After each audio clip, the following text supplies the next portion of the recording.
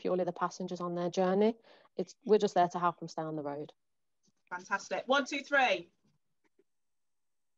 Um, the one, two, three is about the time span, um, the worst incident, the last incident, um, and what was the first incident. I found that really useful in the first session. I think identifying the harmful behaviour, understanding the stages that it goes through can really give you a timeline of events, um, but it also allows you to understand um, events from the parents and carers perspective.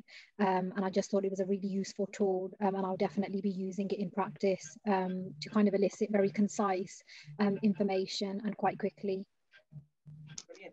Thank you. Um, so, and also just for me to end, um, the pictures we've all got the screen on the background is it's Aboriginal art. It's um, um, I so when my time in Australia and spending some time on an Aboriginal camp and being true to signs of safety. This is where it came from. We really wanted just to represent that, and we're really, really thankful for the, um, for yours, um, you Rob and you Kay and your support for these past five days. Thank you. Group two. Hi. So um, we've um, taken our lessons in by endorsing the um, model itself, the signs of safety model. So we're going to take it in each uh, in turn to explain um, what we feel from a Sandwell Children's Trust uh, perspective. Um, Viv? So we're starting with what's working well. So the things that we discussed about what's working well were the basic signs of safety is being used across Sandwell in terms of the three columns, what's working well, what we're worried about, and the next steps. Um, and it's evident from the past five days that we do, do direct work with children. We do a lot of it, and we do use the tools that are used within signs of safety approach. We do implement basic safety plans with families to identify how to keep the children safe. And we do look at the support networks via genograms, cultural genograms. And then I think to finish it off is just that actually, as us, us being the people that have volunteered to do this advanced training, that we're showing that we do identify that things need to change and that you know we are willing to put the work in for that to happen. Over to what we're worried about, Sandwell Children's Trust and the signs of safety approach. Yeah, so what we're worried about, what we identified was that scaling is being used too vaguely um, and it's not always specific enough in, in meetings to, to the actual issues being discussed at the time. Um, signs of safety is not consistently implemented through all teams um, in terms of use of bottom lines, for example, or scaling or use of direct work tools. And we're also worried about signs of safety training not necessarily being delivered at all levels within Sandwell Children's Trust. Over to what needs to happen. Yeah, so what we said, what we still need to happen next in Sandwell Children's Trust is that all managers have taken the signs of safety training so that they're able to support the practitioners and the champions to embed signs of safety across their, the practice and how they work.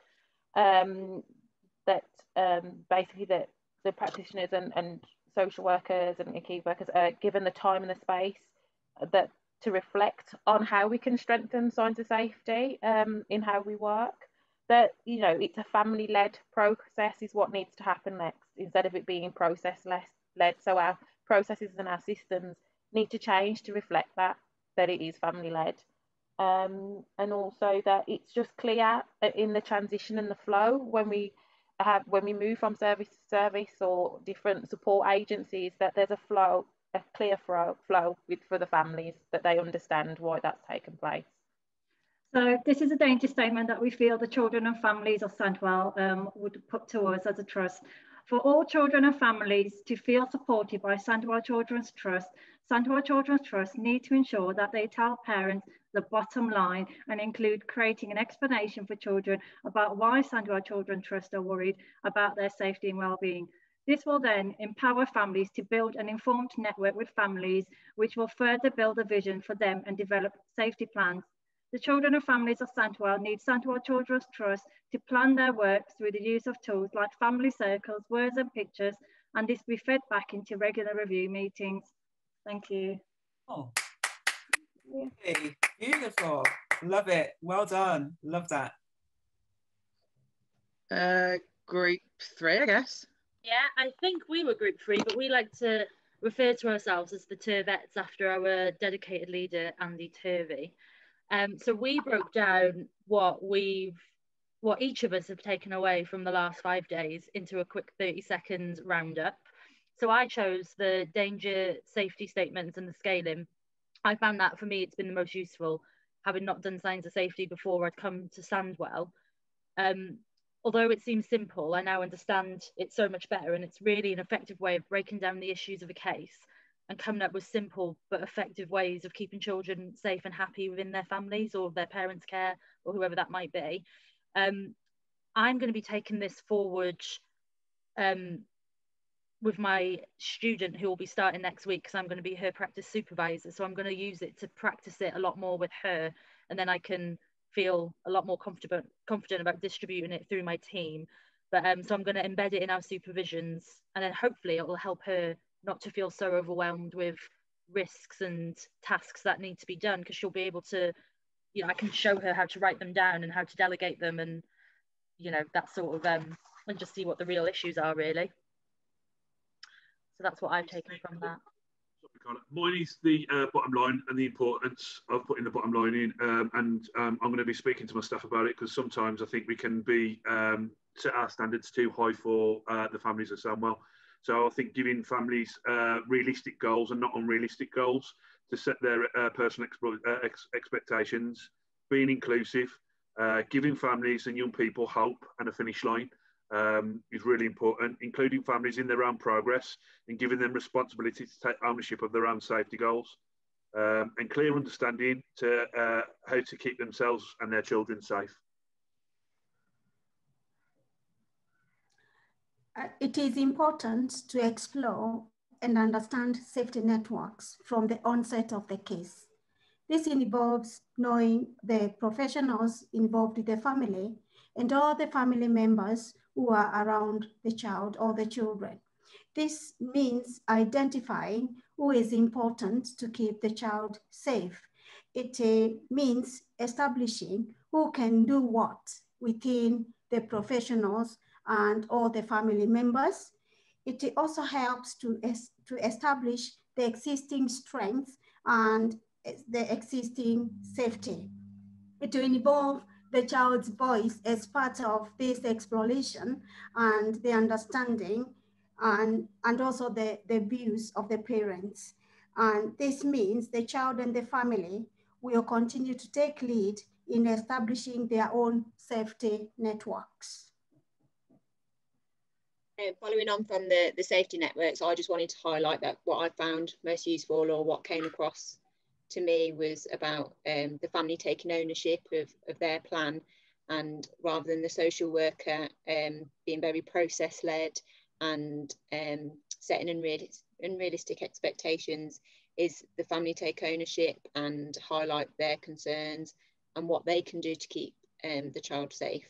So one of the, the questions that we went through earlier was about the, the one person we trust with our family and, and the best worker that we've ever worked with. And for me, that's Elaine Shaw, and we've done a piece of work together, and she is very family focused, and the way the family responded to her was just fantastic. So I think that's what I'll take on board, definitely. Okay, so it's me next. Um, my name's Marie, and I'm a team manager in KIC. Um, and what I've reflected on over the last five days is about all of the tools that I've got that um, actually originated from Signs of Safety that I haven't been using. Um, and obviously in Sandwell and in any authority, what we are trying to do as managers is improve practice, which in turn improves outcomes for the children and the families that we're working. Um, so at the moment, what I've got is um, a weekly um, team meeting, and what I'm going to be doing to embed the group supervision is turn every other meeting into a group supervision meeting. Because um, when I reflected back on what I've done in other authorities, some of the best practice that I've actually had out of my workers has been following a group supervision. When you're a social worker, you can get very drawn into um, a case that you're working with, and it's very difficult sometimes to slow down and to look at it from different perspectives. And that's what's really helpful from the group supervision because you use your colleagues and everything else to look at it from those different perspectives. And sometimes you can come up with or realise things that you might not do um, by yourself. Um, and so that's my little part of it. So we are called the Amazing Four and we've done ours as a little bit we done we use words and pictures because that's what we're going to take from it the most so we've done it day by day in terms of what we learned and how we felt about it so i don't know if you can all see this but this is me trying to draw and talk so on um wednesday was when we all met each other and we all had our big hellos we then learned how to slow down how slow and fast thinking informs our practice and we said, slow it down, it's much better. We then learned about how group supervision is great for informing our practice and how it will help us to share our ideas with our group and to make conscious decisions from the slowing and the fast thinking. We also spoke about how the harm matrix is supported and will support our practice moving forward and how we will be able to draw it out with families and implement it into those more, more juicy cases. We then put there our YouTube videos because we found that the you watching the YouTube videos really helped us to think about things and think about us as practitioners and especially the first video. I think it all made us think about the fact that we can become the service user or someone in our family can become the service user. So, you know, um, how would we deal with that and how would we cope with that and how would we implement our professionalism and, and make sure that we are the service user and we're not trying to still be the professional. So we spoke about that. Here's my um, signs of safety house that of what I try to draw. But um, that it's just it is a house and it does bring you all together and it does make it all gel and fuse together. And i think the things about signs of safety and looking at the house is we need to remember that we are going into people's homes with these signs of safety. So you know that's what that's like a key point in this practice and in this theory. So when we're doing our signs of safety we can't forget our danger statement our safety goals and our scaling zero to 10 so we've got to go away with that and yet then our the strengths in our scaling and questions um, and how we always need to think about that. So that's why that's in a bubble there. So we're making sure that we always think about it. Then it was Friday, so we put yay, it's Friday. and we all got a time to, to breathe and think about what we had learned over the past two days. Then we turned over and we had day three, and there's my roadmap because we learned our roadmap and there's my line for the bottom line because that's what we done. And then we we were really um, serious about this part is the fact that we should always remember that we are facilitators and not doers. And you know our role we need to always stay focused on our role.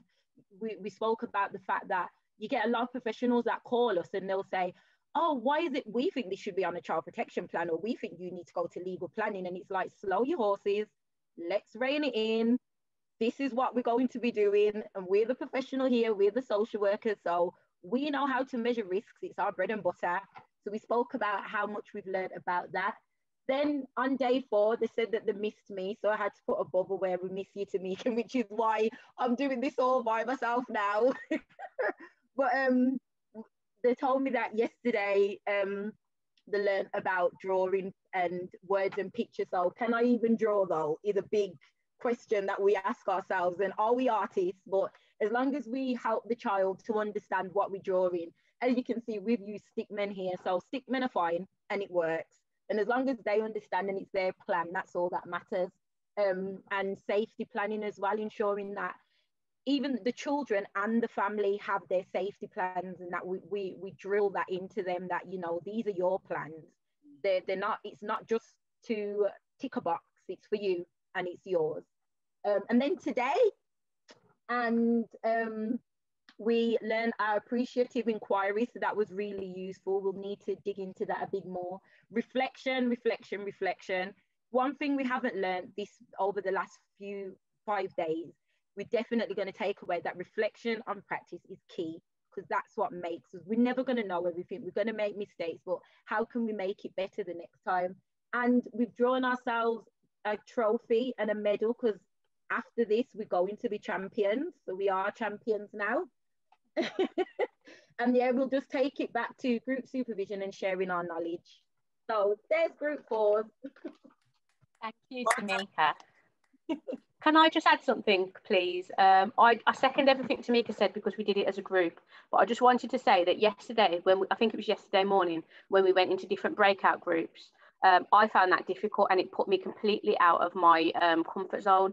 And I think if we adapt that to families, we are strangers going into their houses and we've got to understand that it, it's difficult for them. So we've got to break that barrier and ensure that we've prepared. Yeah, that's wow. Really good point. Really good point, Michelle. Well done.